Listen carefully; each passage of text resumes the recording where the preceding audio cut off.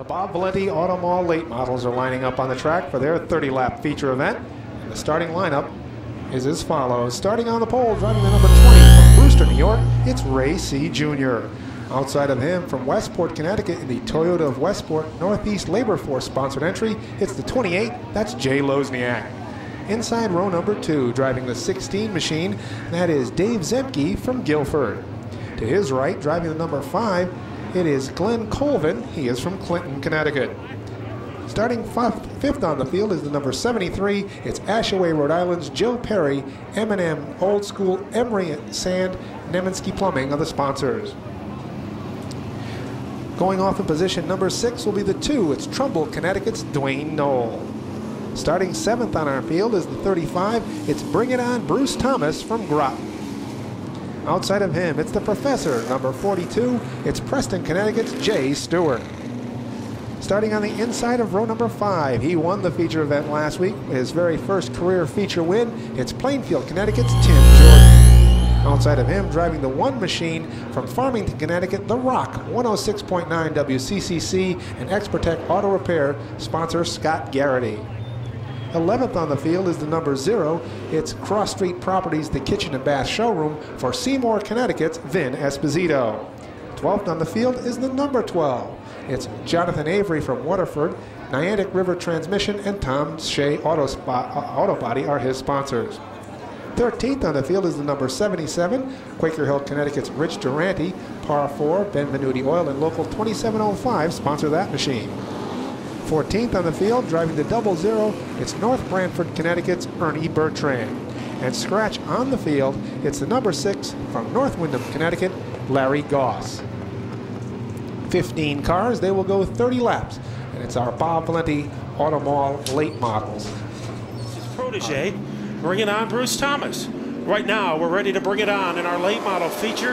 Dave Zemke jumps off the starting line a trampoline move, but it might not be good enough.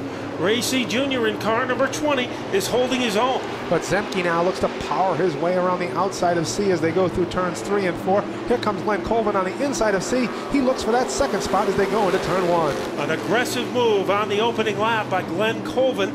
It does not pay off that time, but he has opened up some real estate and he will try to corkscrew through it to move into second. So a good, bold move by Glenn Colvin and this second year driver in the late models has rampaged his way into second.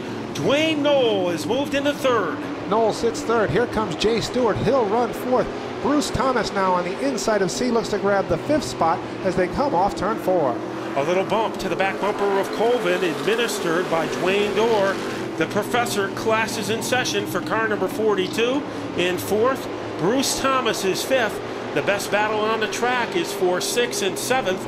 Right now, Joe Perry, with an energy surge, has taken that spot away from Ray Seay, who started at the pole and has started to backpedal. And the man who's made his opening move pay off. It's the 16 machine. That is Dave Zemke of Guilford. He leads the way. The five of Glenn Colvin runs second. The two of Noel third. And in fourth, it's our points leader, Jay Stuart. And Stuart has some room against Dwayne Knoll. He has moved to the doorway. He has moved to the front bumper and he has moved into third place. Jay Stuart. Jay Stuart to the inside. He has the third spot. And now here comes Bring It On Bruce Thomas. He looks to make that same underneath move on Knoll as they go into turn one, and he'll pull side by side with the two machine. So the handling has dissipated on the two car of Knoll. Here comes Thomas as he will tidal wave into fourth place. Joe Perry looking strong in the number six position. And a guy to keep your eye on, the 47 of Tim Jordan and the six of Larry Goss. Those two guys finished 1-2 a week ago. Right now they're next to each other again, but way back deeper in the pack. And leading the first eight laps, it's still the 16 of Dave Zemke. Now the challenge is on for the second spot as Jay Stuart makes that pass work on the five of Coleman. And here comes Bruce Thomas. He wants the third position. I've checked the asphalt on uh, in turn number two. It doesn't have Jay Stuart's name on it, but it might well be. Noel in trouble. He goes into the dirt. So into John Deere country is Dwayne Noel. Let's see if he can get the car back up to speed. It is inert now on the front straightaway, bringing out our first yellow of the night. Nine laps into our late model feature. Pizzazz he has on this restart as we get ready to crank it up in our late model division.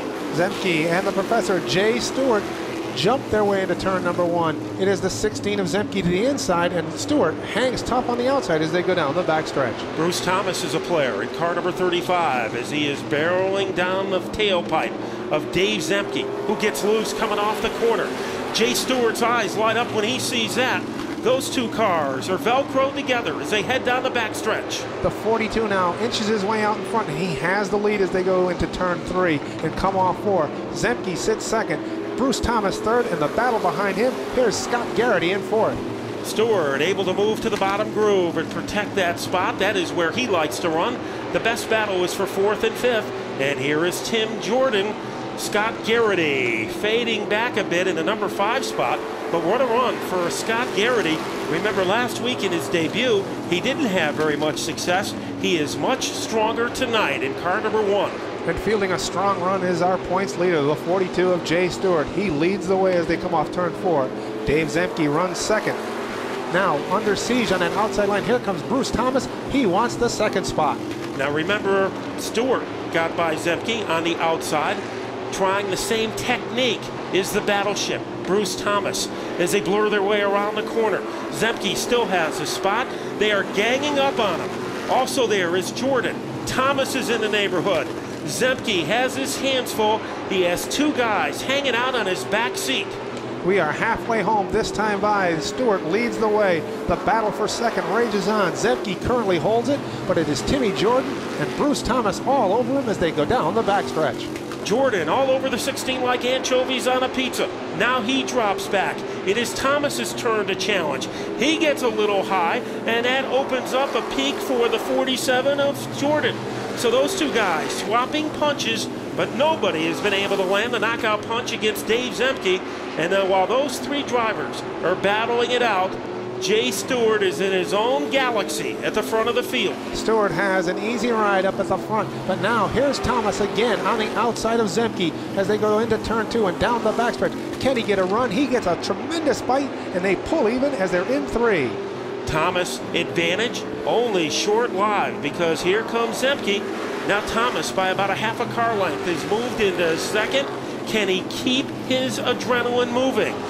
And the man who has just dive bombed his way into second is Bruce Thomas. Trying to follow him to the spot is Tim Jordan. So Zemke held tough for as long as he could. A gallant effort by Dave Zemke, but he couldn't make it last forever. And Battleship Bruce Thomas has surged into second place. Thomas in second, and now Tim Jordan has made the pass. He drops Zemke to the fourth spot, where Joe Perry now is closed right up on the back bumper of Zemke as they're in turn one.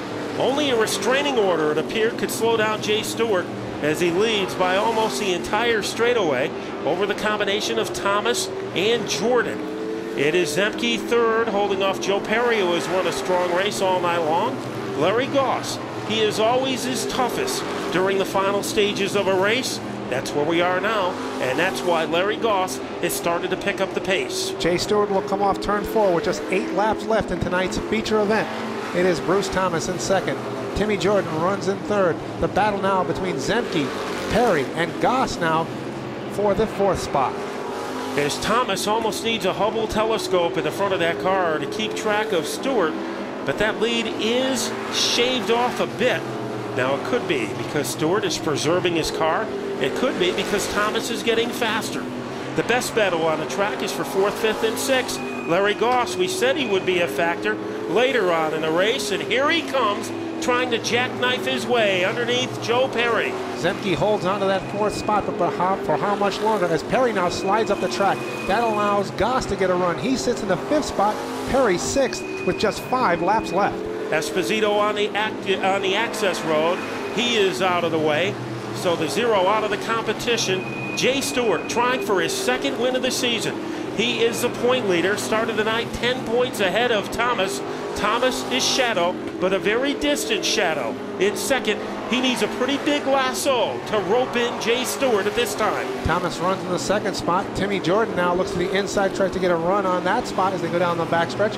And battling for fourth and fifth, it is Larry Goss to the outside of Dave Zemke as they're in turn number three. And right on Zemke's back bumper, those two cars come together, Goss and Zemke. That allows Perry to get underneath as Goss is left up in turn number four with just three laps left.